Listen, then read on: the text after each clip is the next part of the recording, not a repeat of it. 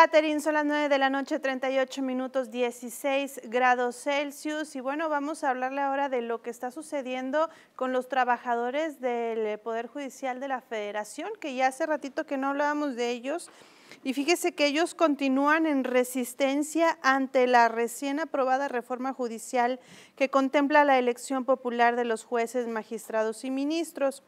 Por ello realizaron una manifestación afuera de la sede del Poder Judicial de la Federación, donde cerraron la vialidad de sur a norte sobre el Boulevard José Musa de León, ocasionando caos vial. Durante tres horas, los empleados impidieron la circulación sobre la vía, provocando el enojo de cientos de conductores que tuvieron que tomar rutas alternas. Los empleados invitaron a la ciudadanía a unirse a su protesta, argumentando que el Estado de Derecho y el acceso a la justicia están en riesgo con la reforma judicial.